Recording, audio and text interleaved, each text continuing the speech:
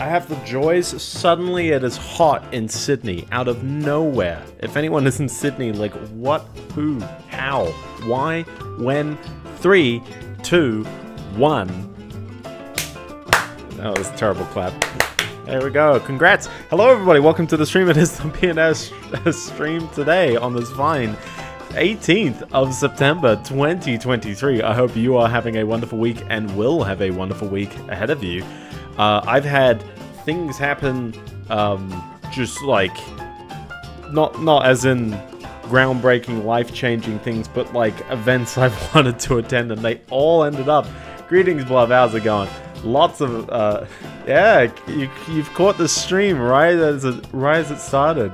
Yeah, no, lots of events coming up all in one go. So uh, I'm glad you're along for the ride, and uh, you know we'll we'll we'll take this as it comes. So this is a stream. Uh, I'm going to be playing a video game. Uh, some of you may know it. Some of you may not know it. Uh, it is not as old as me, but I am very old anyway. So here we go. Uh, I'm going to see how easy this transition is. There's gonna be sound. There it is. We're playing a video game by Nightdive. finally, a 16 by 9 game to cover the entire screen. Uh, this is uh, a Samuel Villarreal uh, special affair. Uh, younger than me. Oh, I might have been. I might have been. Look at this lizard. Gulp. I love him. I love him. He's got weird hands. uh, this is a this is a game that is moderately near and dear to my heart. Although I didn't grow up with it, but uh, I have a huge, a huge, uh, you know, love of everything that that my boy Samuel Villarreal does. All the way back from I was following him right when, uh, and I know he did some stuff before, but I was following him right when like the Doom 64 uh, Absolution total conversion was a thing, and uh, from there on, he eventually went for a like a super version of this. Uh, might as well just do the training while I start off, uh, just so you've got an idea of what this game is. Um, he then uh, does some bad graphics for a 2015 game. Well, it's a it's a it's a remaster of a Nintendo 64 game that had a direct PC port. So they're bad, but they're surprisingly like endearing. The one thing I guess you'll get out of the graphics is that there's clear like edges to all the polygons, and in this case, it's like this texture is crazy stretched across the object. Um, from which the 90 years. Uh, this was 97, uh, this original game. So Samuel Villarreal, my, my boy, uh, you may know him as SV Kaiser on the internet. Um, I love the, the like crazy like camera tilt, by the way, in this game. It's absolutely insane. Um, uh, yeah, um, yeah, he then went on to, to make uh, an incredible like reverse engineer effort, which was Doom 64 EX. Uh, he also did PowerSlave. I think he called it PowerSlave EX at the time, and then uh, Nightdive picked him up uh, to do some formal ports. And this game is the first of his ports. I'm not I'm not playing every single one of his games, although on, on, stream, but I definitely wouldn't be opposed to doing that, you know, over the course of forever. Uh, but I have already played Quake 2021, uh, so there is that. Since I played Quake 2021 uh, just a few weeks ago, we had um, another great like kind of remaster affair with uh, Quake 2. Um, same deal. Uh, doesn't have the custom map support, but it's got enough amount of like cut content and other kinds of interesting things that makes it a fairly good package. Uh, this Turok game uh, is a first-person shooter and is probably one of the most intriguing ones to me because um, it's very uh, bound to its hardware. They have this, this map as well, but um, yeah, Turok is a first-person shooter that came out in 1997 by um, I want to say Iguana are the devs, uh, Acclaim are the publishers, and Acclaim unfortunately don't exist anymore, uh, which leaves fair bits of uh, gaming history and a bit of publisher limbo right now. But uh, but yeah, this game, as you can probably tell, is very Nintendo 64, both in its presentation and its uh, abstract. I love how they're telling you about strafe running already. Like, Like, it works. Okay, can you be precise? If you want to cheat, by the way, with aiming, you open up the map and you've got a yellow triangle in the center of the screen that you can clearly tell where you're aiming.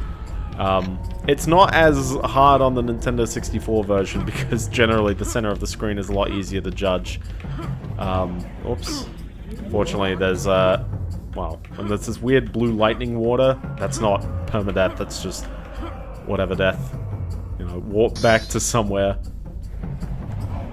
You'll need to activate a switch, which is quite curious because I... Oh, I guess there's buttons all over the place. I was thinking there's no, like, levers.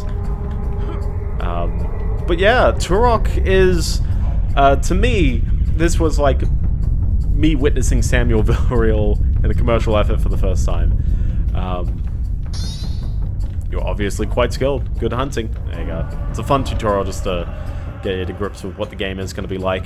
Uh, I'm going to play the game on uh, the default normal difficulty because this game is, uh, in my eyes, very whack, very flawed, and um, oh yeah, yeah, yeah. There's there's just a, a an amazing tone to this game. You start off, you've got lives and cheeky triangles in the top right. Uh, I'll try and briefly explain this game as it goes, but effectively, I might as well just structure the game right now. You've got keys. What this game is, is eight levels uh, filled with, you know, sort of constantly repeating uh, kinds of scenes. Uh, Starfield coming out and hearing about it prompted me to finally get uh, No Man's Sky to test it out. I hear No Man's Sky has definitely recovered a ton from that initial launch. Uh, but effectively, how the game works is that there's eight levels. Each level has a piece of an ultimate weapon, and if you collect all of them, you'll get the ultimate weapon. And on top of that, there's uh, you know so many keys in the level. The first level is six. Most of them have three. The seventh level is two. Um, you need five keys for the final level, and every other level has three keys somewhere scattered across it. Um, you're effectively going to need to pick up every single key in order to beat this game. Um, this game is, for the most part, a very standard uh, first-person shooter, but it does have swimming and lots of verticality in it, which makes it a very curious one at the time. 100%, uh, um, I guess that is what your definition of 100% is. I'm not going to go for all the, what the game marks as secret areas. Uh, you, you need all the keys in order to even beat the game. Um, but I will be going for those, uh, the, the Chronoscepter pieces, the ultimate weapon. Um, mostly because they're not too hard to, to find.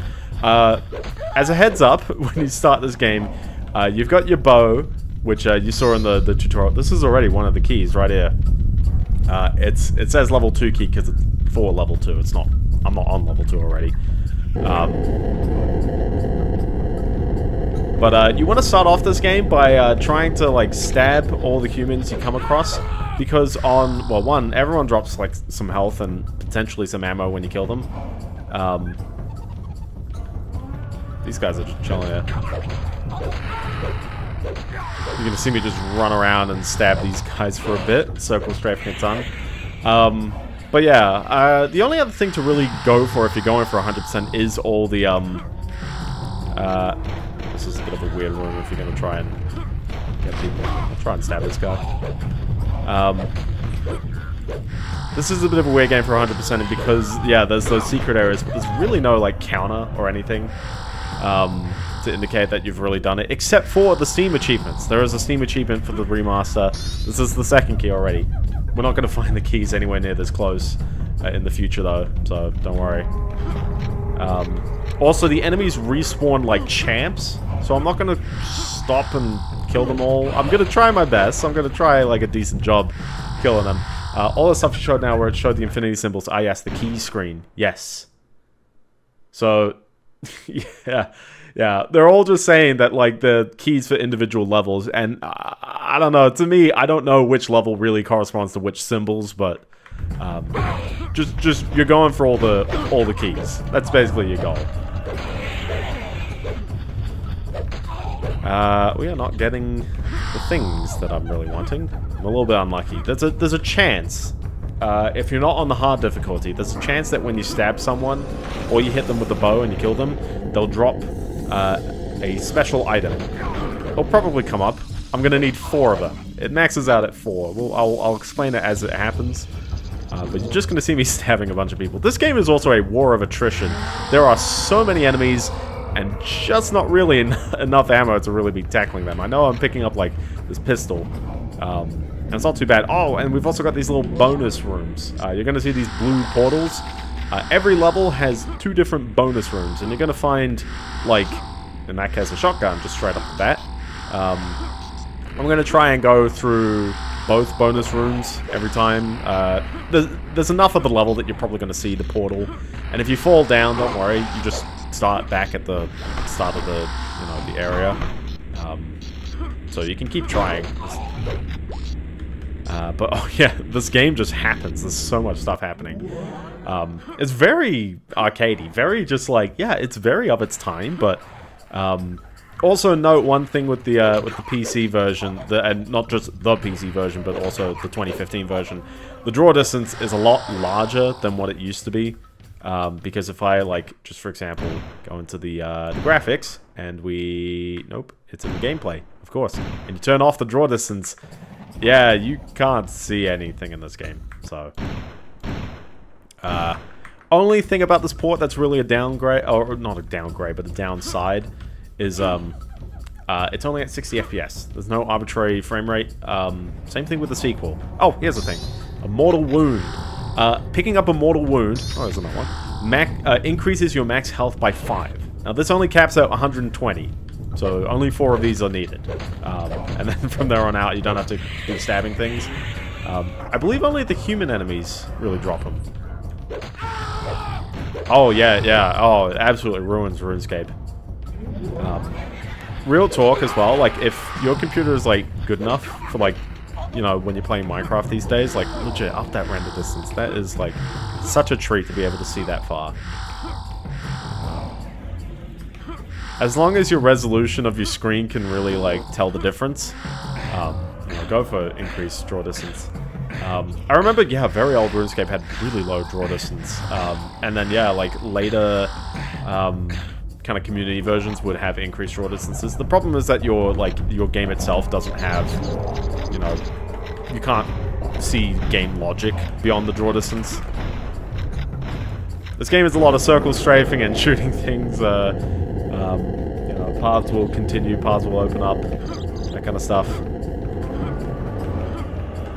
There's also lots of platforming, isn't there? Um, there we go, let's try and stab more people, get two more mortal wounds, and that portal closed. Don't worry, the portals will just randomly exist and not exist, and honestly, it's not a biggie if you don't get the portal, because they'll show up elsewhere. Um, I believe it always alternates which bonus area you end up in as well, so just because I missed that one doesn't mean I'm suddenly gonna not come across that bonus area. Um, so yeah. Uh, throughout the game, you saw there was a checkpoint. There's also these actual save points. Notice my saves are from 2019. I didn't play this game in 2015. Sorry. Sorry, everyone. Uh, but I did have 2018. And I'm going to keep my raw 2018 save right here. But I'm going to start getting rid of my, some of my other ones. Um, so, uh, heresy. I know. I know. I know. Uh, I think if you go forward, that's actually not the, the way to go. It's just got like two enemies standing up here. There we go. Uh, this auto map, by the way, did exist. Oh, there's another more wound. This auto map, uh, which is potentially very hard to see on stream. I'm sorry. But it did exist in the Nintendo 64 version, which is very incredible that an auto map even existed in that game. Um, because there's a lot of 3D games where, like, they just, you know, how do you represent an auto map? They just never did. There you go. That's all my wounds. Um, if you're playing on easy or normal, that is, you know, something you definitely want to just do can start using the pistol.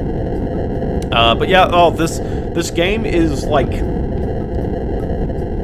different levels will play differently. So we're back here at the beginning, but now you know a little bit else. There's also a lot of alternate weapons. We've got alternate. Uh, you know, shotgun ammo here. This is explosive rounds. You will burn through your alternate ammo before your regular ammo. Uh, and explosive shotgun rounds are cool, but uh, they don't last forever. Um, got these ladders all over the place. I love just like the, um, I guess this was a big thing in like 20, oop, hey, I heard it, I saw it. Here we go, here's the other bonus area. Gotta watch out for these things. These things will absolutely wreck you if you're not paying attention.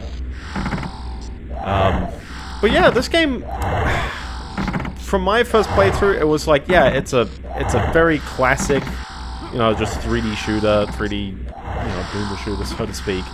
Um, but I think the part that's like super endearing is that it's it really encompasses the Nintendo 64 and all of its like weird limitations, but also all of its weird strengths. There's lots of great colored lighting and, uh, well, maybe not colored lighting, but just like color grading. You're gonna find these ultra healths in these bonus areas are very worth it, but uh, don't keep going into the bonus areas because the bonus area stuff doesn't respawn. I think if you exit the level, maybe it does, but you know, why exit the level?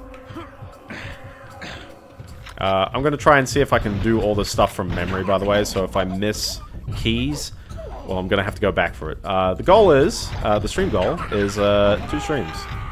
We do half the game this stream, so the first four levels. They're all about the same length, so there's no sweat there.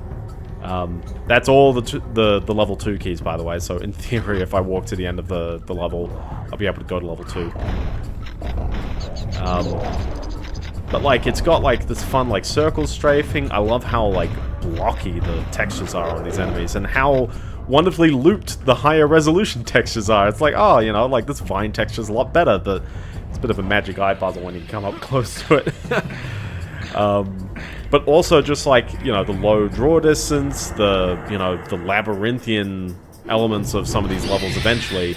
Um, and ultimately, like, this game it's not procedurally generated, but it does give me that feel where it's like they defined some models in more algorithmic ways and just kind of went with it. Or like several rooms are just like the same geometry stuck together, which is very kind of fun and interesting because games like Quake uh, tried to go with the binary space partition model for, you know, increased performance, and then suddenly we just had, you know, graphics acceleration and sort of cheesed it. We just went with it for this game. Um, uh, I think I mentioned, but I love the people who do texture hunting, finding out where textures come from. Oh, like, yeah, the raw source of the textures. Yeah, I'm curious. It's like, this tree doesn't look like a tree, but I love how with the increased draw distance, you get like a bit of a canopy up the top. Uh, we've also got this spiritual invincibility, which is, uh, basically makes you so much faster than everyone else, which is a little bit confusing if you're trying to figure out whether you killed an enemy or not, but it works. Uh, also love the people who make videos about uh, these like small wild animals also sometimes drop a lot of health and things like that.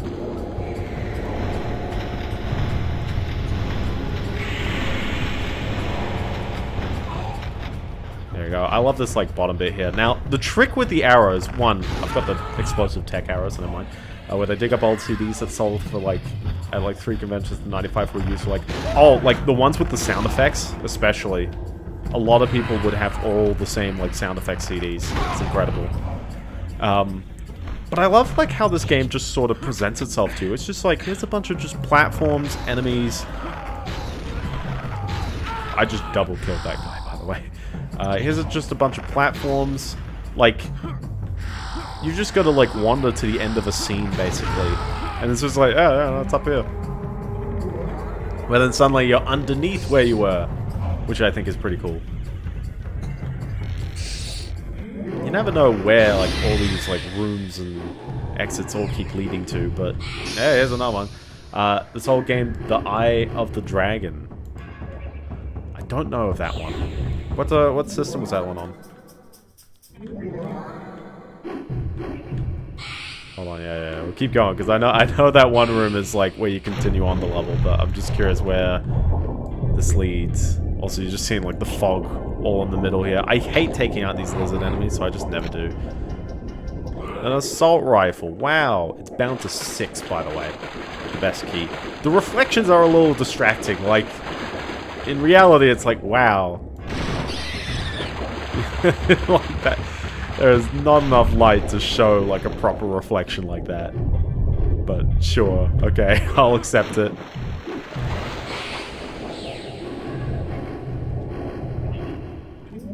Here we go. I love this room full of just like... Just, just walls. This is, like, I can't describe this room any differently than there's just walls. I love how the map lies to you as well.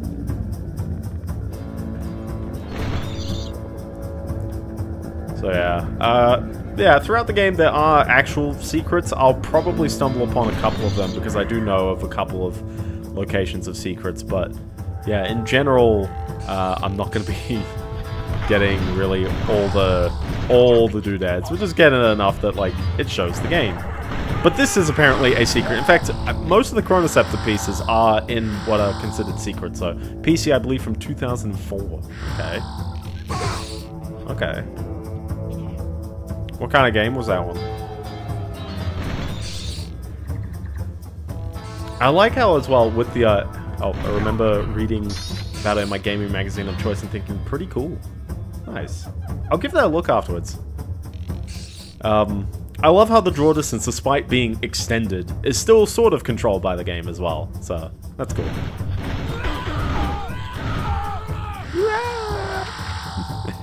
uh, but yeah, I'll exit this room. I believe in this level, no, you sort of can't come back. You gotta, like, there is some exit that will allow you to loop right back to the beginning. You've effectively just gotta loop straight through the level every time you, you do it. So, if you miss something, uh, hope for the best. Hope that it doesn't take too long to run back through the level.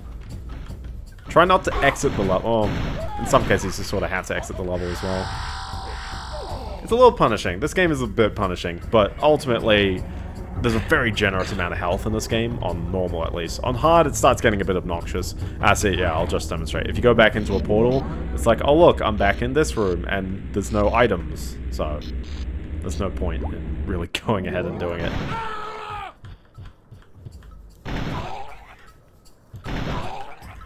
Uh, but yeah, this is a very like interesting game on the Nintendo 64 because um, I think was this enhanced by the expansion pack? It wouldn't have been 97 then on the Nintendo 64, right? Maybe. Love this like massive pits all over the place. I like how the music keeps changing as you go throughout the game. Uh, oh, and bonus points. Uh, the uh, you can switch between the soundtrack. I'm going with the PC version on this one, but some purists uh, like the Nintendo 64 version, so Just note, there's two versions.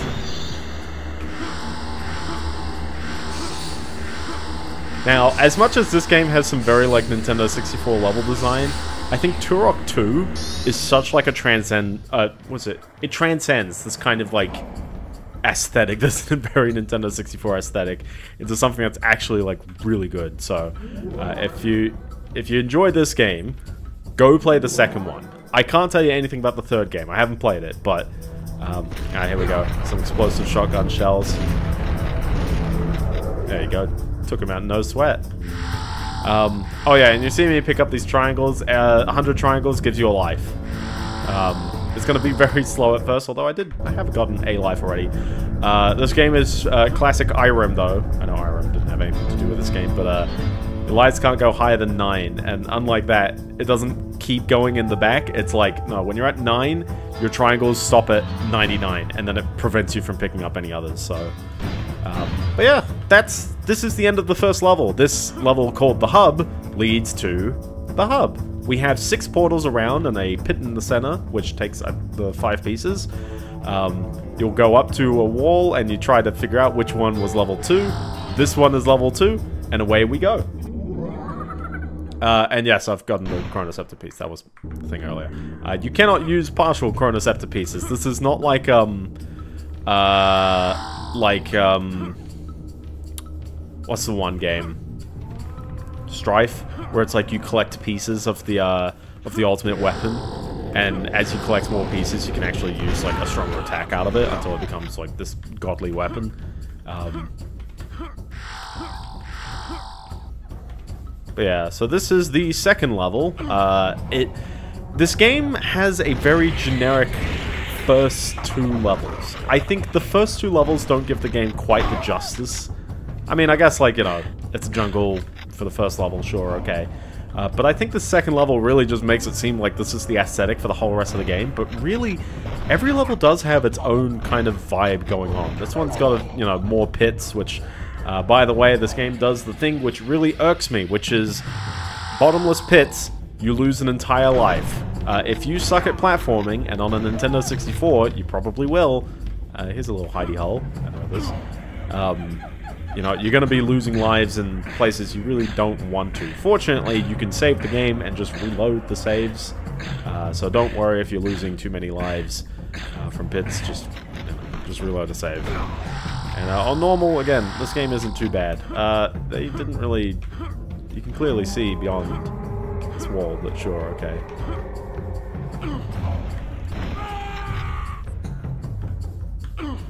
It's all these like weird places you can jump to as well, and you'll find like these weird rooms that don't have anything to do with anything.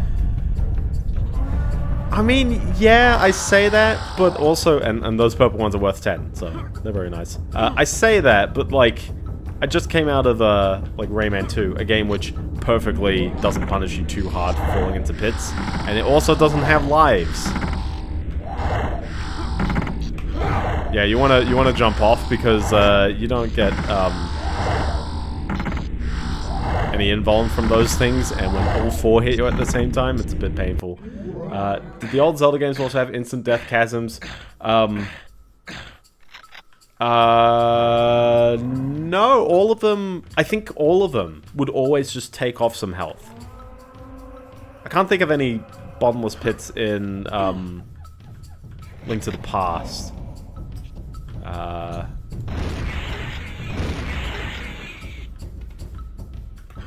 does Zelda 2 do it? Oh, Zelda 2 does it. It's been like forever since I played Zelda 2, and uh, I don't remember a ton about it. I never, I didn't beat it. I got very close to the end, and then I was like, yeah, nah, this is a lot of effort. Um, you're gonna find some terrifying like edges of ledges like that as well. And the worst part, you're gonna, oh, look at that, actual secret. Wow I found a secret. Yeah, oh, I, I, I hate instant death cat. You like it the enemies are respawning on me already? They don't wait in this game. They really do just go for it.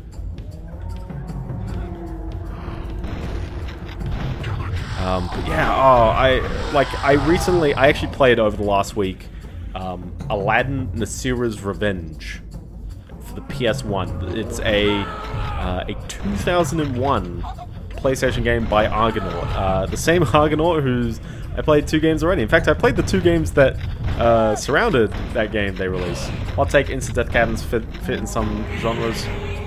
Yeah, like I can't universally knock them, but like in like say that game for example, Aladdin: Nasira's Revenge. It's like that game is a platformer. It's got so many pits all over the place, and there's a huge problem in that game where it only gives you lives as bonuses for beating the levels with the collectibles. There's no lives in the middle of levels, or coin. Well, there's coins, but the coins don't add up into lives. Imagine Hotline Miami style fast-paced short level.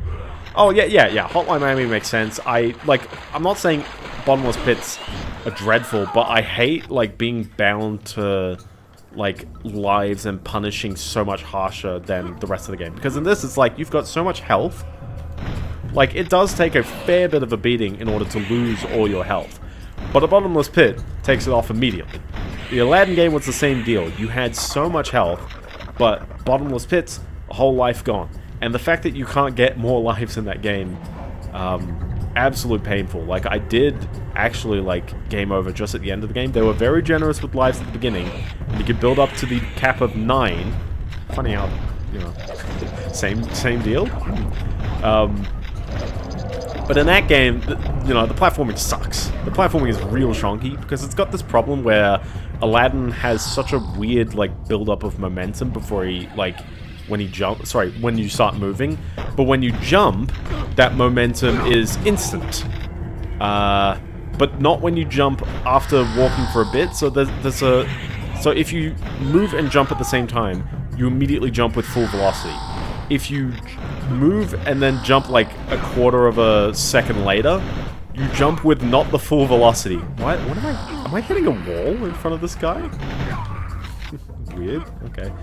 Uh, all game design was to make the thing hard because people spend weeks playing the game, but my cool uncle could beat in one five hours sitting at the family meeting, keeping all the young ones entertained. I think was part of old arcade as in literal arcade holdover because we still train. Yes, yes, exactly that, exactly that. And and to be honest, lives don't make a ton of sense coupled with health. Um, I like I think that a lot of these games would do the health system and then would also do the lives. I know Wolfenstein 3D uh, did both. I don't really think it really works. Like I understand, you know, let's you know let's let the player take some damage before you know failing them, sure. But like the whole point of the lives in the arcade context was okay, now you need to get more money or stuff like that. Um, and I'm okay with like, oh, you know, um, yeah, yeah, with this, yeah, if you've got infinite quarters, you can beat these kinds of games in one go. Um, I, I don't actually quite know what happens in this game if you run out of lives. I assume you've got to reload the save. Um, like a like it's a hard game over, but you know you've got save points. You like how it takes forever to get to one of the... I'm pretty certain one of the keys already happened and I missed it. I can guarantee that's probably happened. Um, but yeah, like, I... Actually, okay, I take it back. I don't mind, like, okay, like, you can take hits, but then if you die, you gotta go back to a checkpoint. If you fully die, you know, lose all your lives, then there's a bigger punishment. Sure. I'm, I'm okay with that. I just hate that, like, you know, a game over is sorry, a, a, a, bottomless pit is like stronger than you know taking a hit like that or whatever that was.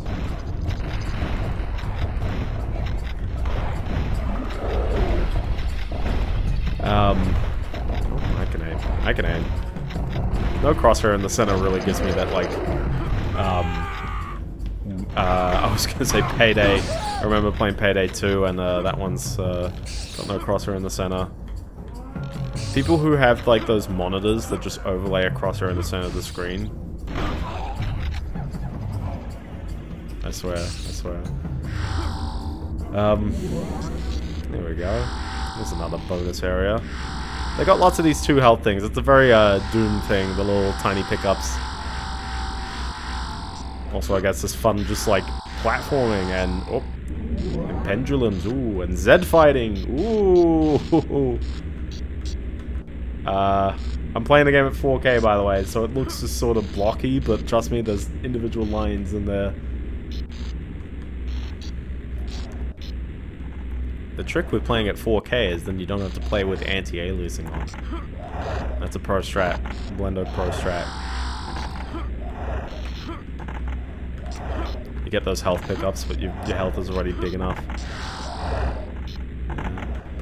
Um, but yeah, the, uh, the, um, yeah, that Aladdin game, it was like, there's a bizarre jump in difficulty because they really want you to like, well, they, they start throwing bottomless pits all over the place. They, they are sort of generous. They've got like just, uh, oh, there's like a trough or, oh, you've got to climb out and maybe you take some damage from, uh, from poison swamp or something like that. Uh, but eventually, like, that becomes lava that basically instant kills you and just bottomless pits all over the place. There's a notorious part of that game um, involving an ice slide, and there's just, like, collectibles on that ice slide, and it's just like, oh, it's pain. Also, there's, um, oh, while I'm at it, there's two levels where you ride the flying carpet, and you move so darn fast. You can, you can brake, there's, there's a, you can press L1 and R1 to slow down, but then you can't turn while you're doing that. For some odd reason, like, what's the point of slowing down if you also can't dodge anything? Some good superhero landings right there. I love to see, I don't know if you're seeing that, but there's like that like small gap between the wall. I also like how all these enemies drop grenades, but like you don't get a grenade launcher until much later. we might get it. I don't, I don't, know if there's one in level 4, but... Um, I like this, by the way. This, like, climbing wall. It's it's massive. It's such a trek. Time this one. What a thrill!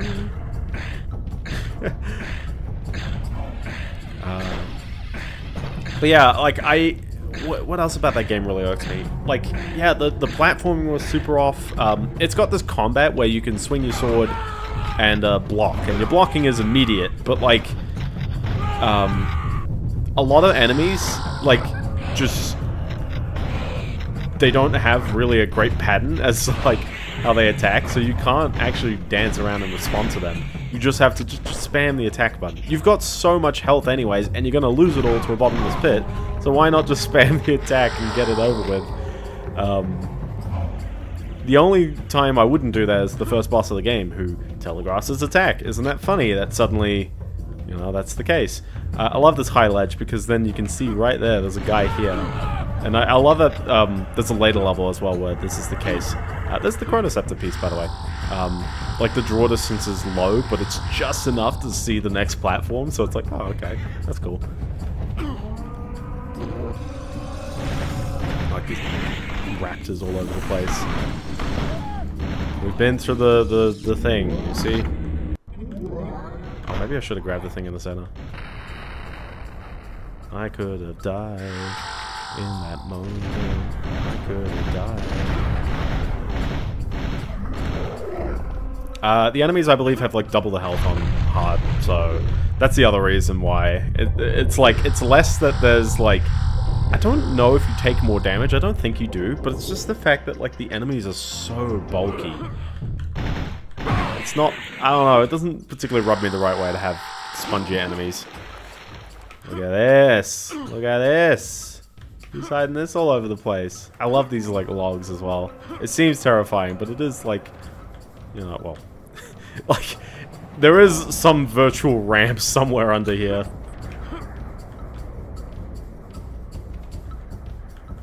I love these jumps, though. It, it's such, like, fun, adventurous level design. It just takes you all over the place. And I feel like the second game is, like, a, you know, an absolute treat. The backpack, by the way, uh, what it does is that you double your ammo capacity.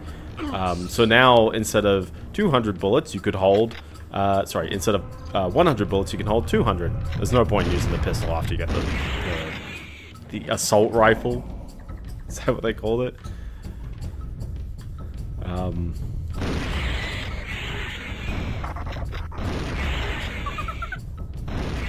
yeah, I'm pretty certain that's like the second of the the um, keys, and if it's the third, that makes me feel even worse. Yeah, the levels are still about half an hour long each, but um, yeah, it's just the fact that there's like six keys in that first level. So, you know, you just burn through them, you just get them all. I love these like cave noises. You're gonna hear like some real loud like ambience all over the place as well. This fun another just pit catches everyone off. Level 4 key. I'm very certain that's the middle key. That is the middle key. Mm, I'm gonna go back because I believe this is a level you can walk back on, and it'll, it'll save me so much time and effort if I walk back. And I'm probably going to see the key as I walk back, like, it's just like, oh, you just had to turn around. By the way, uh, don't use that.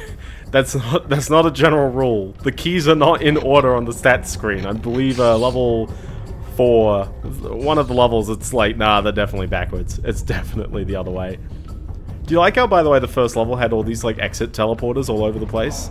And then, like, this level is just like, nah, like, it's all there. It's all straight. I assume the game is dynamically, like, building the level as it goes along and, like, reading the right parts. Because uh, no way, like, is this whole level in memory on the Nintendo 64. It's obviously got to be, like, in sections. Actually, I take it back as well, because uh, classic Samuel Villarreal, um, I don't know if it's his decision, probably not, but um, a lot of these Nightdive remasters actually do like sort of a, a, super version where they'll sometimes put like cut content or otherwise, you know, this own kind of custom twists on, on things. And um, the next game I'm going to play, uh, which is uh, over the Halloween, uh, is another one of those games, and that is filled with cut content, filled with all this stuff that like wasn't in the original release. Um, I know PowerSlave combines elements from all the different ports. I believe it's a hole there. I don't know if you can hear that ambulance. That is a very loud ambulance. Thank you, ambulance. Doing doing good work. I always miss this one. I always wander right past it. I don't believe there's an oxygen meter. So don't worry about uh, drowning, because you can't. Again, just a, just a lengthy cave. But uh, yeah, no, yeah, this, yeah. it was here the whole time. It was worth going back for it. Roofs are my enemy, apparently. Listen, you can't have, you know, collision detection on everything. That's always a fun part about, like, old games as well, is, like, how much, like, fudging of geometry... Uh, famous last words before the Sonic drowning music. Oh, yeah, that would be... Listen, you're Native American in this game. Just side note, isn't it weird that, like, uh, the country of India like, I was thinking, you know, people call, like, natives Indians. Um, that's a very, like, you know, Western word. But then, like, you know, the, there's Native uh, Americans, which are referred to as Indians, I guess. People don't really do that anymore. Um, and now India themselves are calling themselves Bharat. Um, and they're probably going to commit to it, I think. So, uh, yeah, uh, I'll call it now. If if you if you ever see the you know the name Bharat, that's B H A R A T. Um, just know that that's uh, what we've been referring to as India forever, and uh, they're probably going to commit to that name. And given how we use the word India in more contexts, um, it's the Hindi name. Yeah, like, and and honestly, it's just like, yeah, India is just like th that's the name the British gave it. So listen, I, am like all power to them. Um, you know, to change the name. I don't like. I've got no convictions for like. You know, I got no reason why it still has to be India, given. Yeah. Oh, not not everyone wants it to be called Bharat, or not everyone wants it to be called. I know some people don't want it to be called India. Um, if they don't want to be called Bharat, uh, I'm curious uh, how they feel on that one. I guess as someone who doesn't live or really, you know, have no interactions with uh, with the country, so I got no no opinion. But it is a curious. Oh, is it because like not everyone is like Hindi, or is that look at Africa? What are they doing in Africa? Arbitrary. Oh, yeah, yeah, I lied. They did put a portal in this level. I, I just love. I I love the the blood in this game. It's just hilariously like over the top. I hate this enemy though because it's like it's such a bit of a blind like shot. Like I'm here. I am guessing the center of my screen. Uh, Pakistan India conflict. I sort of know it, but I don't know enough about it. Don't say Pakistan wanted to call themselves Bharat.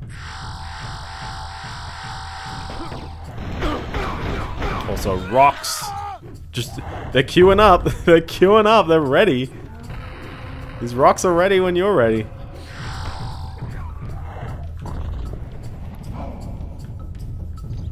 Uh, India internally is mostly Hindi, but even those that do not uh, would not dislike Bharat intrinsically might dislike it because of the political implication. Oh, okay. I did not realize there's more to it. I just thought, oh, India is the name that British people gave. Also, watch out. You see that pole? You're gonna see it in other levels. You see that pole?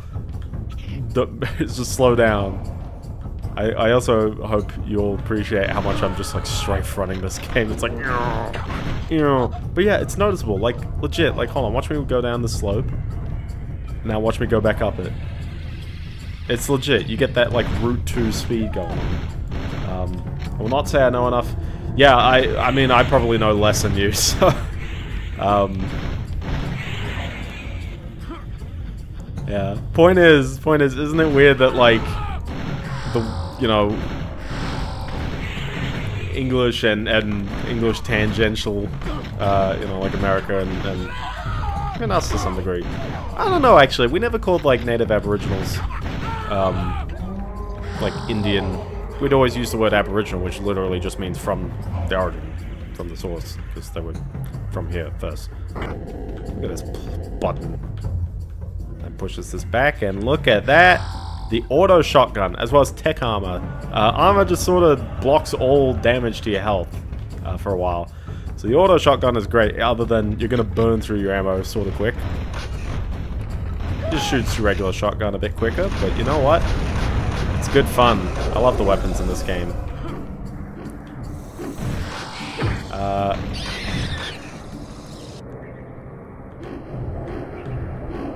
Yeah, uh... Also, speaking of, um, India, I guess, you know, Aladdin takes place in Arabia, but this game takes place in Egypt. You go to a pyramid and fight Anubis, and they make net mention that on foot you somehow walked all the way straight into Egypt. Straight to like Karnak or something, I don't know, man. You, just fight Anubis and that kind of stuff. I'm just gonna wander into here, except this is the wrong portal. Uh, where am I going? I always bring up the map when I'm in these caves, because I get so lost, bro.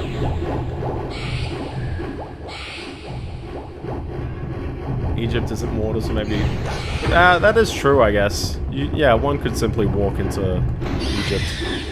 I don't know how you get into here. Is it like you gotta like press up against a wall? I don't think there's any wall, any like secrets to shoot. I think it is just like walls. But I see that like minigun right there and I'm like, there's gotta be something to it. There's gotta be something to it, but I don't know what.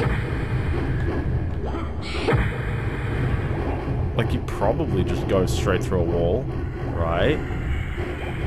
but no matter how many walls I go up against, I just can't figure it out. So, we're gonna have to walk past that one. The minigun will come to us later.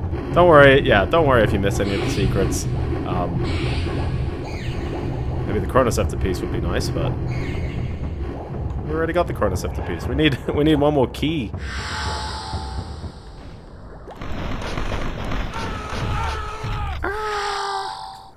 I love this uh, this area here because uh, you just drop off and into the water. Got this little bit down here for more health, lots of health all over the place though. Um, but yeah, yeah, I I don't know why you go into Egypt. I'm very certain you go into like um some uh like the Mayan uh like kind of like temple or something. It's all like abandoned, like lost ruins, and you fight like the. I'm very so. Actually, it could just be India because you got like the the the beings with the four arms, like the statues. Um. But yeah, it's like. But uh, then again, it's like, well, India is a bit far off from Arabia, so what's the deal there? And the genie has no powers the whole game. So, uh, there's no... He, he just walked that one. What a bizarre game. Um, maybe one day I would play it on stream. It's it's the second worst game I've played all year. Um, it's not, for reference, the worst game I have played this year is a game which, heads up by the way, uh, it's uh, Marvel's The Avengers. I had a huge rant about it when I beat it. Um, and ultimately, at the you know at the end of the day, at least that uh, that Aladdin game, you know, there's bits, there's parts of it that are alright. It's got terrible bonus games. It's got, like, it's got so many bad parts about it, and it feels super rushed. It's got some bits that are okay. That Avengers game, I don't know, man. I Like, the more I think about the, the less fun I think I had. And, uh, that's a shame, because the game is getting delisted in two weeks. You will not be able to buy it uh, after two weeks. It is currently 90% off on Steam. There's the end portal, by the way. Be warned. the key is past the end portal. You gotta, you gotta be on your toes. There you go. Uh, the Avengers game, yes, the 2021. You know, it's been three and a little bit years, and they've they're taking it off sale for some reason. It can't be licensing, right? There's no music. It's just this is the Avengers. How strange. And we're back to the starting level uh, where you can uh, you can put some keys down for level four, but you can't keep going into level four. Yeah, no, I who made the game? It, it's by um Crystal Dynamics and uh, published by Square Enix. It's like this is by people who I would like. I love. I love their stuff. Yeah, yeah, yeah. Um, they did a they did a push. Square Enix did a push where it's like, oh, we got an Avengers game. And they showed it off at uh, I think it might have been at the Game Awards or it could have been at the State of Play like 2019. And I was like, ooh, that's an interesting thing. And, you know, they're coming straight out of making Tomb Raider. That's got to be pretty good. And, uh, yeah, no, it's it's horrendous because they basically said microtransactions or bust. The game is built as a games as a service kind of game, um, and it's just filled to the brim with like microtransactions for cosmetics, uh, grindy gameplay to just constantly level up characters, random loot mechanics that are just not fun, and also sort of don't make sense. Um, but the worst part is the game that you will buy and play is a twisted kind of interpretation of that in an attempt to hide away the fact that there were microtransactions. Um, Suits too strange. Oh yeah, yeah, yeah. It's entirely that. Um, yeah, like it, it's it's 100% the suits. I don't think any game developer legitimately thinks gouging players for more money is really like, you know, a fun idea. I definitely see why smaller, you know, payments can sometimes get you more revenue without really interfering with the quality of the game that much. Um, I think people have sort of accepted DLC, like drip-fed DLC all the time. Square Enix, I believe, we're pulling in games as a service game because they made losses or less profit and got hard data uh, that the model was worse than classic sales models, which is great. That is true, yes. And, and I'm glad that they've reversed course. I wish that EA and 2K realize that with their sports titles, but also I guess maybe it depends on the title. I think it actually works out for the sports titles. Which is a shame because, uh, like, legit, like, there's so many microtransactions in, like, I, I think I did the math. It's like, it costs, like, nearly 600 or $700 to max out a single character in the new NBA game because they just keep making the microtransaction currency worth less and less. They're trying to find that spot that, like, will earn them less revenue, and then they're going to just ride that balance the whole time. But right now, it's like they can keep pushing that. Um, yeah, sports titles make sense as a game as a service, except they sell you the, a, a new game every time. Um, I hate that, um, and I know I played FIFA 98 earlier, but I hate that lots of sports games sort of make some mechanics worse to always make like the long time players feel like every game is an upgrade. I like how this is a drop down just at the beginning by the way. This whole level by the way is like a much different level because it's all like this climb up to the top. Um, so it's a it's a very different level aesthetically and that's why I was like the first two levels aren't representative of the level design that the whole game uses from there on out. Uh, for those games, Games as a Service was a natural evolution. Yeah, I guess, yeah. But I do wish that, like, you know, there were more meaningful differences between the games. Um, also, actual lava on this side. This lava is the kind that just hurts. Look at that. Lots of, lots of triangles for the lives. I haven't even died yet. It'll probably happen, don't worry. Uh, oh, yeah, yeah, yeah. I've got the Unity situation queued up. Um, which, I, I, guess that's a good tangent to, to go from Avengers to that. But uh, I'll, I'll detail the whole situation in case uh, a lot of people probably know, but um, if you're watching this back years down the line, uh, sometime, I think it was Tuesday, um, yeah, oh, it's, it's one of the most this is the same spot, but it'll put me into the other portal. This this one is, uh, like, that's just the ground that'll warp you back to the beginning, but it's like, oh, you gotta jump on this over and over again. Um, but yeah, for, for anyone who doesn't know, the, uh, the Unity situation. Unity is a video game engine. If you don't know that in the future, then rip Unity, because uh, they were, like, kings for a while. I remember back in like 2010. Um, I actually, I fun fact, I have a game on Kongregate when I had like you know, no programming experience, and I actually made this like simple like platformer game using as much like scraped together code as I could, like trying to follow tutorials, trying to understand stuff. It's not great, um, but it's a game, technically. I had ideas as well for other things. I think it's more a showcase of my Sibelius music at the time, probably more so. I'm more invested than most because my sister's partner is actually a game dev from Small Indie Studio, and they said it would really make a huge problem in their long-term plans if that goes through. Um, real talk, I think well, I'll, I'll, go through the situation. So Unity is a game engine. Um, they've been around for quite a few years, but over time they've sort of done real, you know, iffy moves. Um, uh, they have a, I believe they have a model where you, you know, there's a free version of the engine, uh, but you know, if you make so much money, um, you know, over the lifetime of a product, they do want you to buy a license for the for the Unity engine, um, which is sort of what like Unity's always like Unreal does the same thing, um, and that's a pretty normal model because like when you make money, then you should be paying for the software you use to do it. That makes sense, uh, and not like just any money as well. at least like hey, you know, you can make a bit. I had not the chance to talk to him in depth about the situation.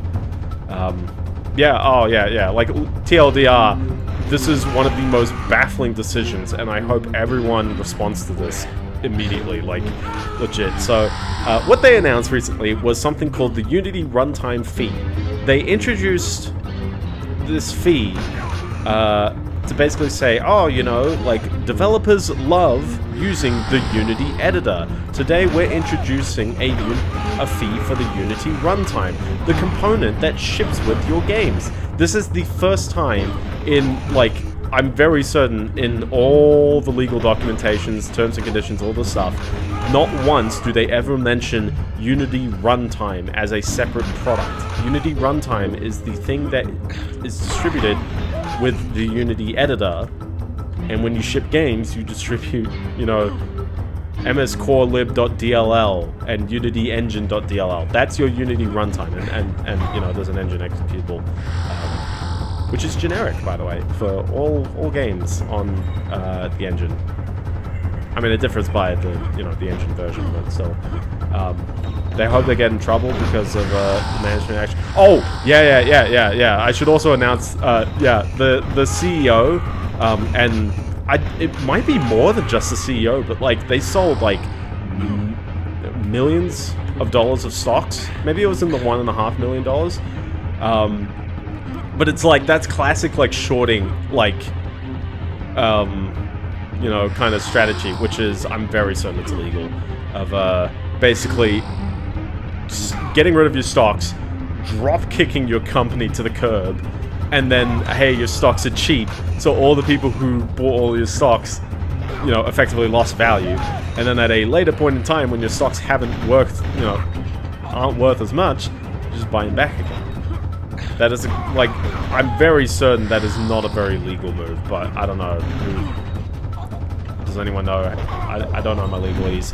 Um, so yeah, so the CEO sold the stocks, and then they announced this baffling decision to introduce the, run the Unity runtime fee. So as of January 1st, 2024, Unity will uh, charge you uh, once you have 200,000 total installs of your game. Installs is the key word here. Uh, and I believe you also have to have made over $200,000 US of, of revenue over the lifetime of the product. Um, but the installs, I think the installs is also lifetime, is it not? Yeah.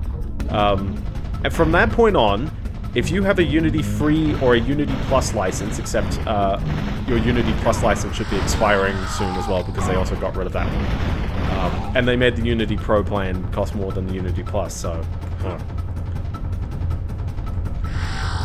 Um, uh, you have to pay 20 cents per install after the first 200,000 over the lifetime of your product. Uh, this this is irrelevant to how much money you have made after the 200,000 that puts you over the threshold. Um, this means if you make a free game that, you know, has microtransactions or something like that, which therefore means that, you know, the average, like, payment, the average amount of revenue per player is actually quite low. Um, for example, less than 20 cents. Oh, look at that. Suddenly, your game costs more for people to download. It costs you more for people to download than for the revenue that you get back. Which means your game is worth, or rather, Unity is stealing 100% of your revenue. Now, for some people, oh, it's not actually that bad. But, like, okay, well, you know, let's take a step back. Uh, that's installs of the game. Unity, for years may I add, has been tracking the installations of your game. Now, it doesn't really mean anything, but when you start up a game for the first time, Unity is going to know, like, oh, who you are, what's your OS, what's your system, all that stuff, and then it saves into the app data folder or wherever your application data is configured. And then it sends, yeah, it sends that to Unity, probably for analytics. Unity is you know, partially an, uh, a video game engine and partially an advertising platform for the video game engine, most likely. Um, got a save point here already. Wow. I like this teleporter as well. It just puts you onto the roof. Um, you can really sequence break hard if you lean right, but you probably shouldn't. Um,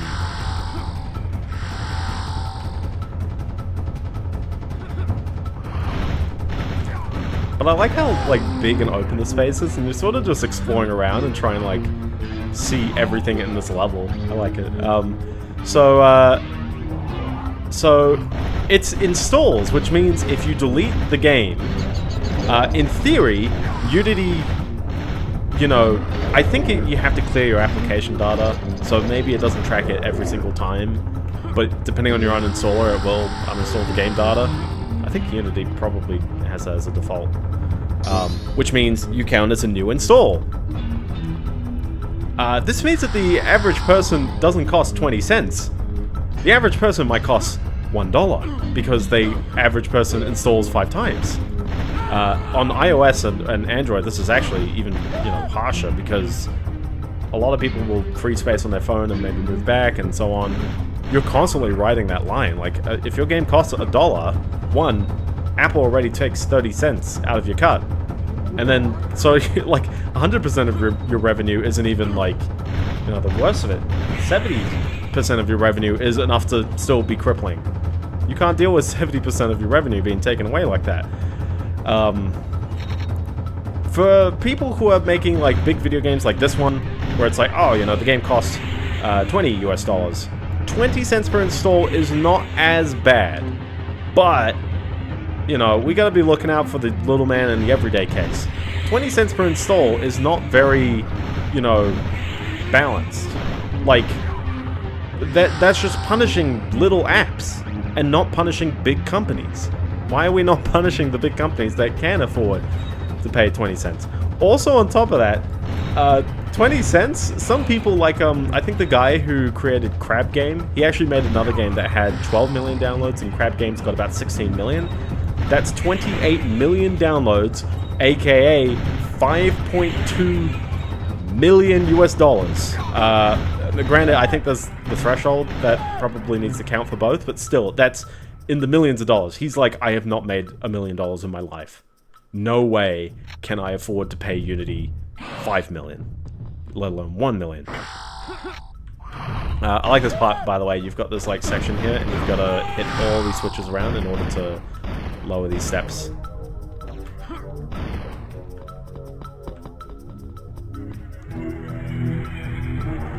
It's a very curious level, this one, isn't it? Yeah. Um, so, yeah, uh, ultimately, you know, Unity is, you know, okay, okay. The real Unity, as in the lowercase u Unity, the real Unity is the uh, the consensus that the entire community had when they saw this. They were like, it's September. What kind of April Fool's joke is this? And, uh, yeah, no, this, this is baffling, and I don't think anyone could even attempt to defend this. No, no one, no one believes this is like, you know, holding. Legally binding, Probably not as well, because if you made a game on the Unity engine, you never signed up to this. So how can they suddenly change the terms on you? If I released an engine and it was open source, uh, and and you know royalty free. We'll even say I don't get to turn around and say actually no, I don't want it to be royalty free, and all the lifetime sales of your game suddenly have to go to me. You can't change the terms on that. You have to announce that you're changing the terms, and then for all future products, for all future effort, because we're in this kind of annoying part where like if you let something run forever, you know, you shouldn't be bound to any updated terms.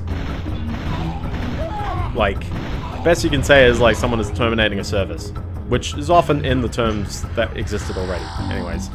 Um, but yeah, like legally binding, I don't think this is the case. And if Unity is absolutely like, if they have the goal to commit to this and actually like go ahead and really like, you know, charge lots of tiny indie developers millions of dollars, which by the way, like this will probably like realistically, well, sorry, not realistically, um, I think if everyone had infinite money and could actually pay this, this would probably earn them billions of dollars. I think this legitimately, like, there's so much money that they'd be, like, grabbing out of this. Um, now, I, I assume in a boardroom, that's probably what they heard. They heard this will earn us billions of dollars and take back, like, loose revenue. Only problem, I, I, I don't know, like, we all like saying that business people are evil. Um, and to some extent, like, hey, you know, like, they're going to value profits over customer value. Now, customer value is not mutually exclusive from uh, from profits. You need a good business that people will will back and defend and that kind of stuff um, in order to actually make a ton of money. That's why lots of companies like Valve makes a bajillion on Steam, and Steam is not particularly like they've not done anything to go more aggressive into their profits. But what Steam does is it constantly builds itself as being the best service. And when anyone goes, hey, you know, I'm going to make a competitive service at the game store, you know, it has big shoes to fill, as opposed to everyone is immediately able to jump onto something like Threads, because the current situation of Twitter slash X is terrible. No one likes Twitter slash X. I'm just going to call it Twitter. I'm not going to call X. Who does? Um, so Unity, you know, has market share already because it's, you know, a big engine with a free license. And it was one of the earlier ones with a free license. I like how this looks like I'm just constantly going, like, nowhere. Trust me, like, this is gonna circle back onto the onto the existing part of the level. Let's hopefully it is. We'll see. Do I remember where the Chronoscepter piece is? Not really.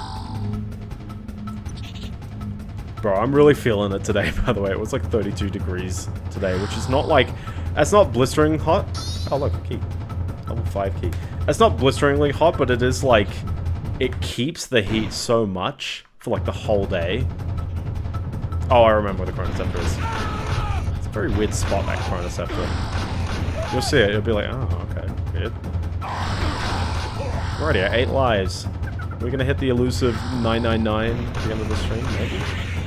Um, so yeah, so I, I, yeah, I, I don't want to characterize any particular person at Unity as evil because ultimately, at the at the end of the day, I don't think any of this is legally binding. It is such an aggressive cash grab with, by the way, zero value to an end customer. Your customers are like, rather, Unity's customers should be the people who buy the engine. It's not the people who download the games. People who download the games ideally want a good running engine, but the developers are the ones who are the consumers of your engine, as well as animators and other kind of stuff. I know that there's lots more use cases than just video games for Unity. It goes through, means no new games will be made with Unity. 100%. No one will ever, you know, like, I think the biggest thing with this is customer trust. Like, if Unity tomorrow just goes, okay, we heard your feedback, sorry everyone, which by the way, it's been a whole week, they have not done that. But if they went tomorrow, they will regain some of the trust. But I think this should be a permanent mark. This should be a 100% permanent mark that someone and multiple people sign off on this and announce this thinking that this was a positive thing to announce. That people legitimately were like, oh, you know what? I really do wish that my... Oh. There you go, I fell off a cliff. Also, my backpack is gone. I hate that your backpack disappears, but... Listen, I'm not going to die enough times that that'll be a problem. I did... That was a bit far back. um... But, yeah, oh, like, legit. I will probably... Yeah, the backpack disappears when you die. Um, so my max ammo is now half of what it was for, like, the past, like, you know, dozen minutes. A few dozen minutes. But I'll, I'll probably pick up another backpack at some point, like, throughout the game. Just don't keep dying. That's your only, that's your only thing you gotta stop doing. Um, it is a punishment, but it's not like the end of the world.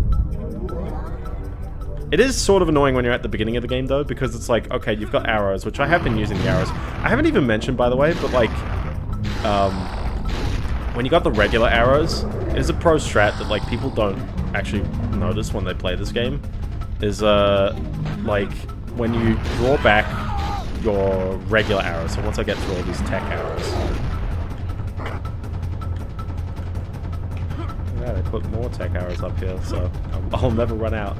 Um, you can actually like one-hit kill, uh, well, not bosses, but any enemy with the the regular arrows. Uh, if you pull it back, you'll see that the the arrow like sparkles a little bit. Like you gotta like press that and then just like vault it.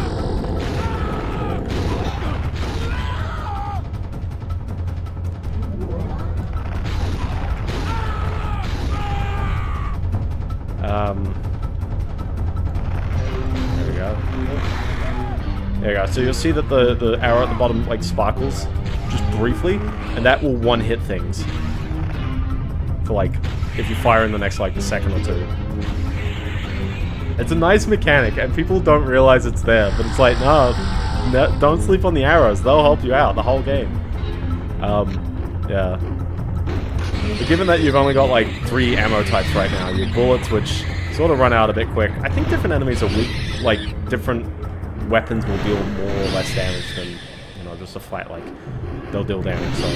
Um, but yeah, Unity is, like, dead to me as a company, and not exclusively because of this, because I would like to know that Unity has been acquiring multiple, um, like, kind of component-based, um, you know, companies. And I think, uh, what's one called? ironSource?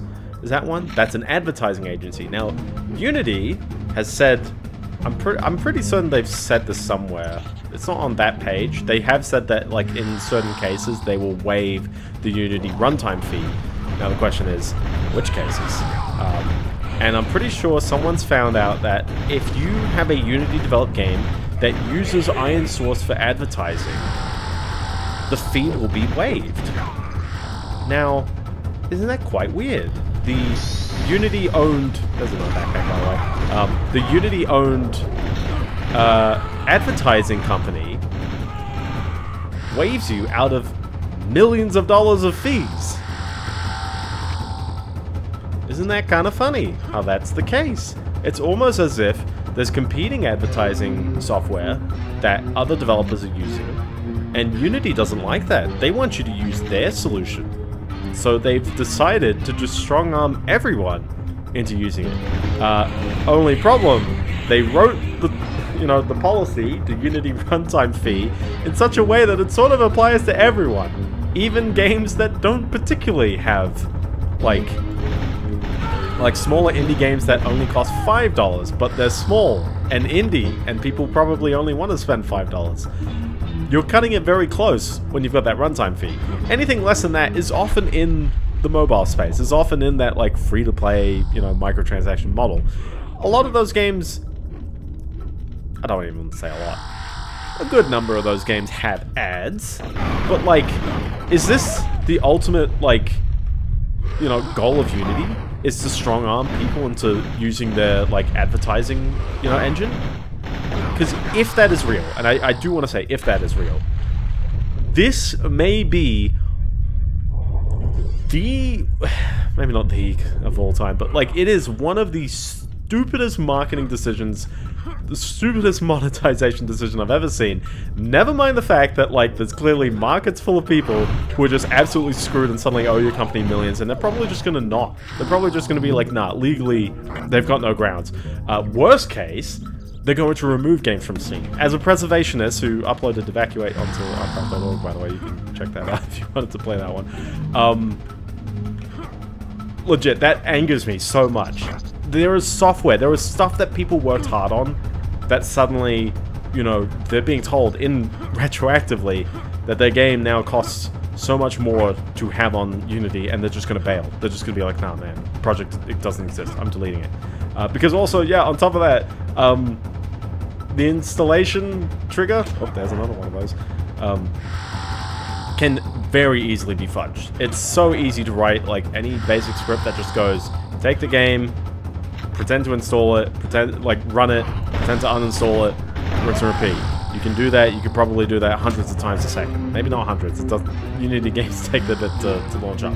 But you can definitely you know, multiply that for more clients, more virtual machines, that kind of stuff. Like you can you can do all those kinds of things with zero effort. Now Unity is saying, "Oh, we know, we know what's going on."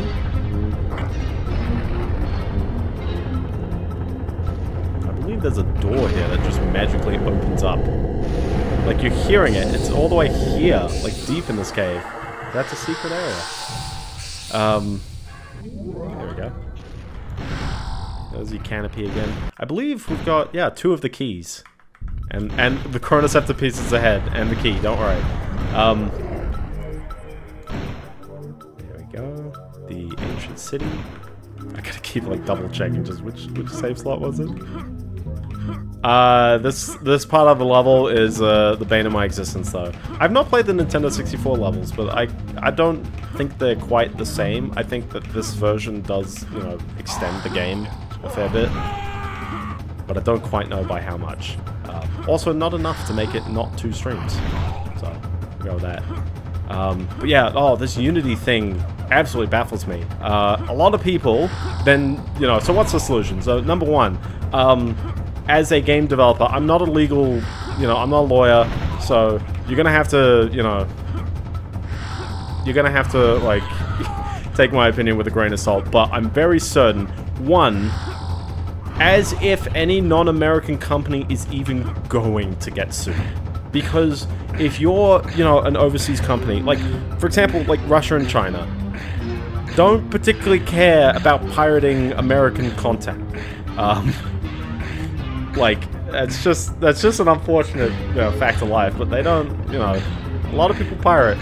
And, uh, their government isn't going to hold them accountable, and in the realms of digital software where it's very easy to... The Chronoscepter piece is up here, by the way. It's just curiously up here. Um, uh, this puts you up here, by the way. This does not exit the level, despite looking like the exact same portal. This actually enters a boss room. There are three boss rooms in the game. One in level 3, one in level 5, and one in level 8. Uh, this is a good luck. You're going to be fighting this guy in a jeep. And he's coming at you, so... Fortunately, the explosive shotgun does pretty alright. He drives around, he goes. Uh, they also do spawn more ammo around the outside, so if you need more explosive shots, you can. Now, unfortunately, uh, his Jeep just respawns after you kill it.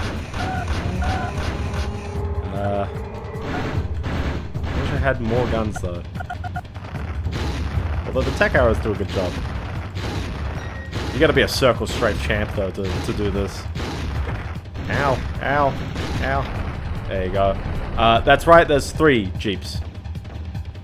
Actually, no, sorry, there's two Jeeps, but then he, he gets out of his Jeep and starts shooting you, so... Don't worry, don't worry, this is the only boss that changes its health bar like that.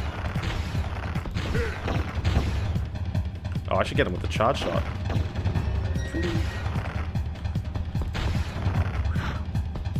Doesn't actually do a ton of damage. Okay, we'll just get him with the regular bullets. Um, but yeah, oh, this is like... I'm, I'm glad, you know, everyone sees this, and I'm also glad everyone's memed it, and I, I highly urge you, do not forget that Unity has done this. Companies deserve our trust as customers, and I'm not saying we should, um, you know, like, you know, screw over companies all the time, or really, uh, generally, you know, it's gotta be, it's gotta be mutual, you gotta understand that, yes, they gotta make money in some ways, but Unity is not a company that's losing money. Unity is a company that has been doing very fine for a very long amount of time. This is extra. This is on top. And this breaches my trust for that company. Uh, so, yeah, like, for me as a developer, what do you do? Well, you're probably going to use Unreal or Godot. Godot, I'm seeing a lot of people, you know, lean on. Godot is not perfect. It's not a perfect substitute. I believe Unreal is probably, you know, the best you can do if you want to, like, feature, replace. Uh, this is a uh, pulse rifle, by the way. Godot is pretty cool, yeah. I've given Godot a try. I, I do like what it's going for, so... Um, there you go, there's three keys. Let's do one more level for the stream, and then that's half of the game, so... Uh, so here we go, the ancient city. Alright, which one was level 4? This one!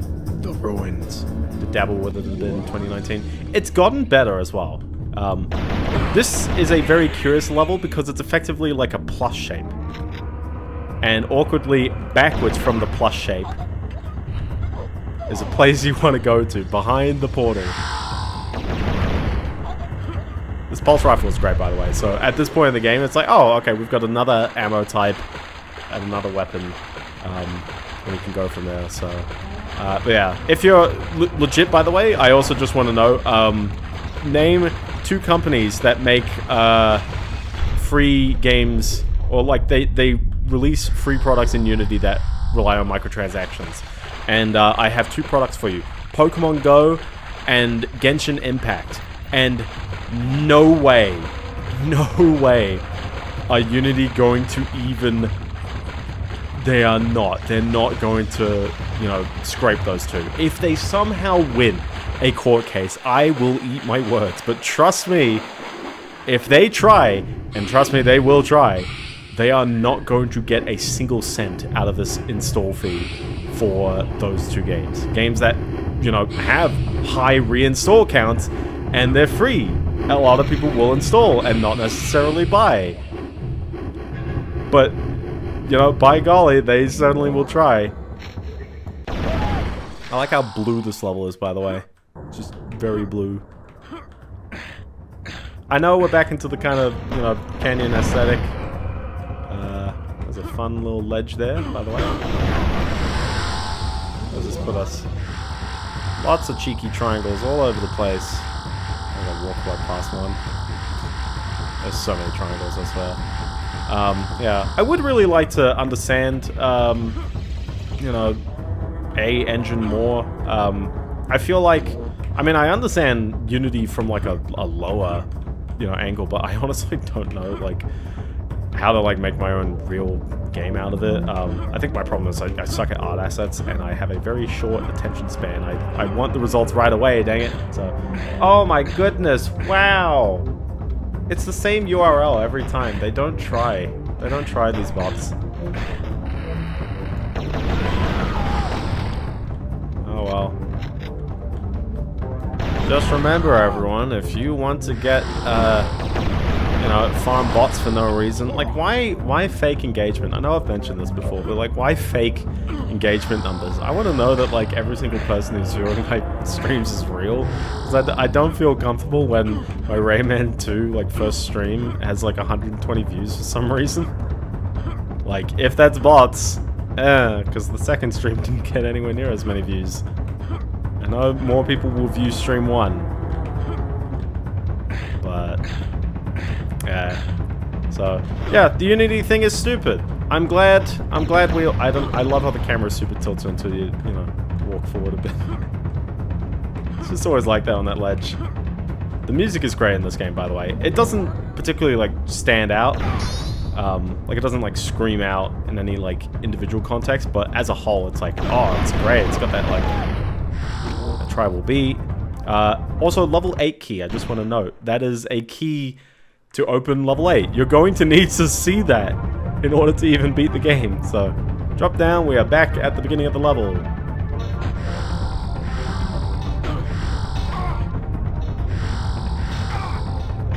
Something about Fextralife, kind of gray zone view botting. Yeah. Yeah, a lot of wikis do this. And, and like, uh, yeah, I guess this is like, on the topic of like, you know, companies fudging stuff. Uh, by the way, if you go this way, that's the end of the level already. This level is incredibly short, um, if you view it as that. But this level, you know, we gotta get the Chronoscepter piece and we gotta get two other keys. I love this room. You have all these enemies kind of like stuck here. It's like in a Doom when you've got the ceiling like too low on them or something. And uh, if you go over to I'll just stay in the center. They all come to life, including this alien, which doesn't appear later until fairly later in the game. But he's just there. You know. I actually like how some of these enemies will have like variants that appear later on. This guy especially is a bit of a pain. Because he starts like throwing these like mystical skulls. I'm very certain they're skulls.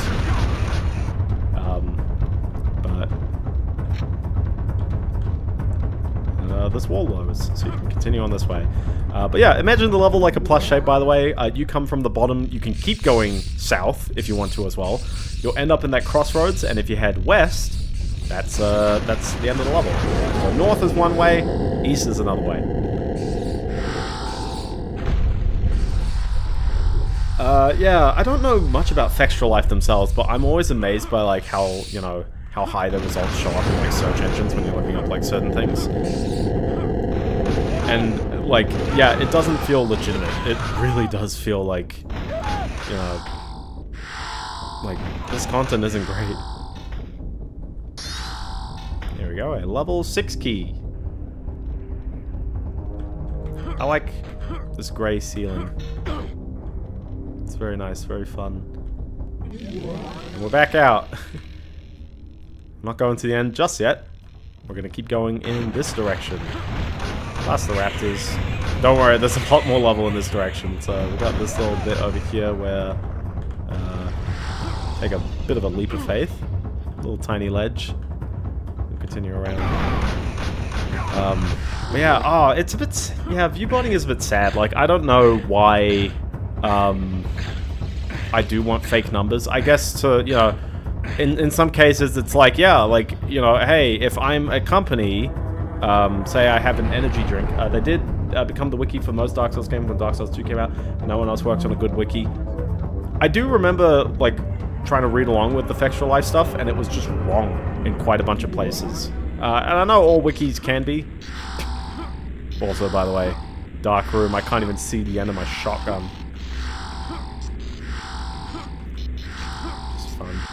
Um,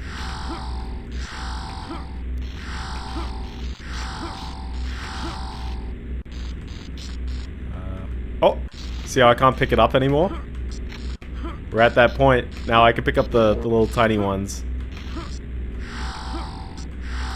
But eventually I'm going to hit 99 and suddenly all of these triangles mean nothing. Oops. Oh, there's only two left here, so... Oh, there you go. See? The triangles mean nothing now. Until I die. And they will mean something. Um, yeah, I mean, I can imagine a game like Dark Souls is one where, like, there's a lot of just wrong information around. This is a bit of a leap, though. Gonna work your way back. This Fextralife had 557 or something, making it likely one of those was true. I'm trying to think, like, what's another, like, website that's sort of like that? Um, I'm gonna say Moore's Law is dead. The YouTuber. I don't know. That's a bit of a dig. I don't watch enough of his content to really know. I do know that he's wrong a fair bit of the time. You just gotta, you know, leakers are like that. Sometimes they're real, sometimes they change under the hood, and sometimes they were wrong from the start.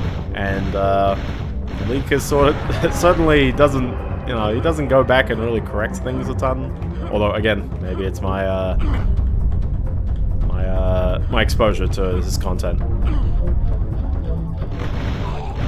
Uh, but yeah, like if let's say I had an energy drink, it's like, yeah, who do you want to advertise your energy drink to? Listen, if some guy has fudge numbers and you can't tell that they're fudge numbers, you know, you might go with them as, you know, who you're sponsoring with. And that is probably the reason why all this botting stuff happens on the internet, is because people drive their business and their engagement by these raw numbers that can be botted. Um, the KPIs, if you will, your key performance indicators. Uh, which means, as a company, please, please set your key performance indicators to um, validatable figures. Like, for me, my subscriber count on YouTube is not real, like, in the sense of, and I'm not saying I fudge it, um, but, like, people, because also, yeah, I saw people on Twitter saying, like, yeah, there's certain topics that I can, like, talk about, where suddenly, like, I get, like, you know, 100 likes out of nowhere. Just complete, like, accounts like that. And, yeah, people are like, yeah, like, someone is driving bot accounts for certain, like, topics or ideas, um, for their own reasons, whether it's to push an ideology, whether it's to push money, um, like, there's lots of reasons why, like, people would run bots like this. Also, hey, we got another just tunnel, caves, tunnels all over the place. Try and try and navigate around. Um, so the worst part is sometimes the person who appears to benefit from this, or like you know whoever you see who's got bots, sometimes it's not actually them who have the bots. You can't even tell. Um, so, which is why I think the values should be worthless. There is no point really measuring your likes as like a measure of anything, really. It doesn't mean your content is actually like really that more engaging. It doesn't necessarily mean that you know you're, um, you know, like like what I would like to to have is more real conversations, and to some degree, I mean, I don't know, I might get Markov chained, might be a bot that's just like, hey, I comment on you know a fair number of your videos and they look real, and honestly, to me, I can't tell, and it's getting real harder with AI stuff. I know, but um, you know, like I, all I want is just like some legitimate feedback, and then that's it. I don't particularly, you know, desire for my channel to grow. If it grows, it grows. But you know, like all I want is just you know people who hear what I say. That's it. Um, so yeah, whenever like some some things get botted, I don't know if like some of my videos had legitimate views back in the day. I never know what to do about this. Oh, oh, oh. I never know what to do about this room because there's no like teleporter to lead you back. Uh, very certain there must be a way to get up there, but it's like it's a pit. I haven't got the Chronoscepter piece, by the way. Um, I know where it is. I know where it is off the top of my head, but I haven't gotten it yet. So just because that was all keys doesn't necessarily mean we're just done with this level just yet. Um, but yeah, yeah, ah. Bots irk me. Big business irks me as well. Business for no value. There must be, there has to be like a teleporter somewhere that leads you back, and I just have no clue where it is. So I just wander back through the level like a chump. I wish this was a speed run. I what's the speed run times on Turok? There has to be like sub one hour, right? Like people are just like, yeah, I know where the keys are. I go for it. So if we head up here, there's this whole like extra section. It's just like chilling up here as well. Like I've gotten all the keys. We've, we've picked them all up, but this is just this part, this like kind of area. It's got like all these little like kind of side parts, there's enemies that hop down at you. There's a lot to this game that's not like just along the beaten path as well. So this game is actually really nice for a replay. I would actually recommend this game. Like, I mean, most of the games I play I would generally recommend, um, but like, this one is a real fun one for like a replay um, because like you'll just see things you didn't quite see before or the levels make a little more sense as you go along. Um, you don't get too lost in this game as well. It's got enough like landmarks and save points like this. Just, I haven't saved in this level at all. This is just a 80%, 2830. Whew, whew. Is that the, the, the Nightdive version as well? Or that's the uh, original PC version? I like this like spiky dinosaur. Um, I'm curious if people even run the Nightdive one. By the way, isn't it weird that there's no, like, quick saves? They've stuck with, like, checkpoint saves. Which, uh, to me, that terrified me as a, as a young guy. Oh, this as well. This portal just, like, stands here. There is an item over there, which is very, very nice. Uh, you're gonna need to step on all three switches, and then, with enough time, 100% 33-34. I'm curious what the 100% like even targets though, because I, I, mentioned earlier, I was like, I don't know what 100% means. Is it all secrets? Is it just counting all the secrets? Knife only 3802. That's pretty good. Because especially you got to do the bosses, so... Yeah, so run back there to the lava bit, then try and do some, some strafe jumps. Get that minigun. The minigun uses its own ammo. It also burns through the ammo crazy, so if you don't have the uh, the the backpack, then you're a little stuffed. Also, there's a lot of uh, there's a lot of occasions when like doors and stuff are triggered by enemies. Like you're gonna see me take out this one guy, and that door just goes down as a response. Um, it doesn't show up a ton, but it shows up a bit. Um, there are a bunch of warps here. Each warp just casually puts you in that lava pit, except for one of them. Just magically, one of the teleporters does not put you in the lava, and I don't really know why.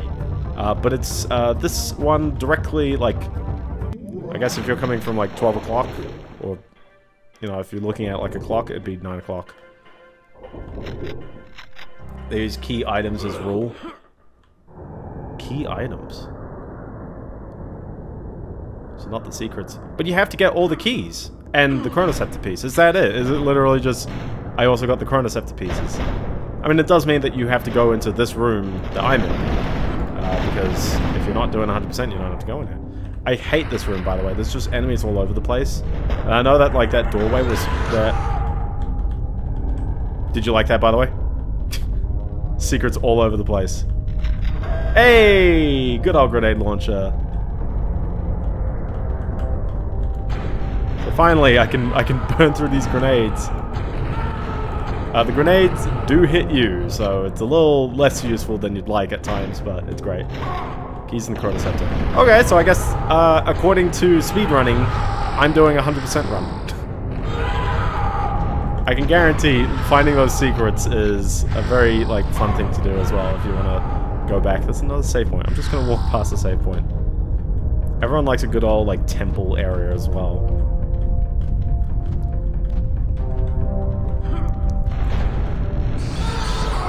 Uh, let's not trigger these bits uh, just yet, even though this looks like this leaves the area. Trust me, this is where you continue to go further down, and then you'll backtrack and go back. Oh, wrong shotgun. Yeah, lots of enemies drop grenades, so the grenade launcher is actually, like, eternally useful. I love these massive rooms, though, where it's like, there's just a ceiling ages away. Um, DOS games that have like massive rooms like this, Duke Nukem is great at doing massive rooms. Oh, I love it. I should play Duke Nukem at one point. I'm surprised I actually like I I I sort of had Duke Nukem in my mind like ages ago to play, and I'm surprised I didn't actually like queue that up. Probably because it's got a Christmas expansion, and I want to play it around Christmas, but uh, not not this Christmas. I've got another plan go, stand here, and then immediately get terrorized by these things. Like, they're just gonna knock you off, and you're just gonna wait until that platform comes back down. It's so cruel. You can also, you can actually, like, stand on top as well. There's a part of the level uh, where you can stand on top and see down, and I forgot where that was.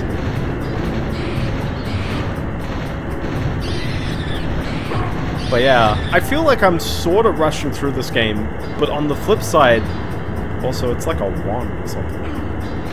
All the pieces are different looking. Um, but yeah, it, it sort of does feel like I'm rushing through the game, but trust me, like, if you sort of know what you're doing, you're gonna sort of play this game the same way I am. Uh, da, da, da. Now these switches have a very specific order. You want to sort of step on these two, like, last because the platforms, like, you'll see that one goes down, like, fairly quickly. So if you're trying to do a lap around the room, it's like, yeah, they've already gone down.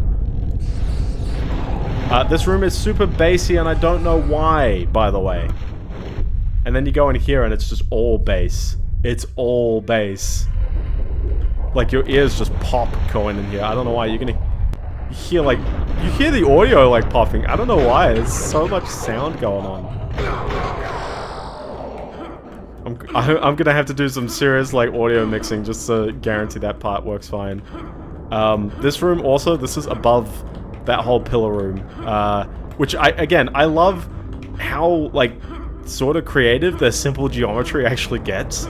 They've got bridges and platforms and all this stuff all over the place. For a game that came out in 1997, and uh, to focus on this game a bit, like, this game has some real, like, nifty use of 3D. This is a very great 3D experience of a game. And the fact that it's on the Nintendo 64 is, like, good fun. And look at that, it pops us at the end of the level. Uh, no boss in this level, by the way, it's the next level, which, uh, unfortunately, you're gonna have to wait until the next stream, because we're back here at the hub. So, uh, with that, uh, we've got all the keys for all the first four levels. Uh, four levels to go. Um, not as many keys to go, but uh, definitely still a good number of secrets and a good amount of content. The, the, levels don't get shorter, including that eighth level, by the way. It's a proper level, trust me. Uh, but I think that's it. That's pretty much all I wanted to get done this stream. So I would like to thank you. Oh, oh my gosh! Knock the knock the mouse. Make everyone throw up. Uh, I would like to thank you so very very much for watching. If you enjoyed uh, the stream, uh, you can you know you can follow on Twitch or subscribe on YouTube. You'll see the VOD if you missed any bit of it. Uh, and uh, yeah, if you um, if you missed any bit of it, you know, watch there. If you want to watch it, if you're on YouTube and you want to watch it live, come to Twitch on Mondays at 8:30 p.m. Australian Eastern Standard Time. Uh, I realize it's not daylight savings next week, but the week after. Uh, it, yeah, it's a bit shorter. Um, I don't know, hour 40. Hour 40. It's not like it's shorter than I usually do. I usually push over the two-hour mark. But, uh, I don't know. This was my plan. Maybe... Oh.